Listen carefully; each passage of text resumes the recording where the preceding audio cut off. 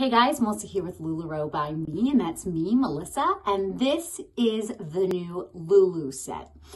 I wasn't so sure about Lulu because she does have what is known as a crop top, and I am a 43-year-old woman that does not want my tummy to hang out.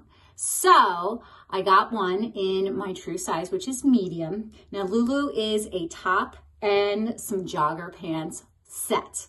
Um, super on trend, very popular, and uh, I, I didn't expect to love her like I do. I just wanted to try her out.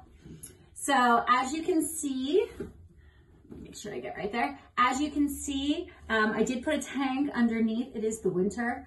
Um, so that if I do raise my arms, I am covered. But the length of the top is great. The length of the sleeves is great. And I have very long arms.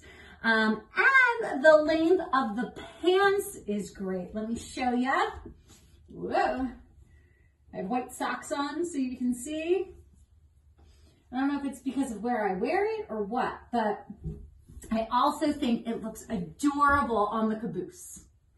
Um, so it is a very, very soft, fuzzy inside.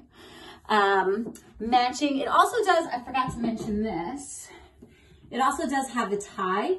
Um, I feel like I probably could have gone with small pants at a medium top, but it is a set, so it's all medium. So since the tie is here, I'm great. And as I said, I feel like my butt looks good.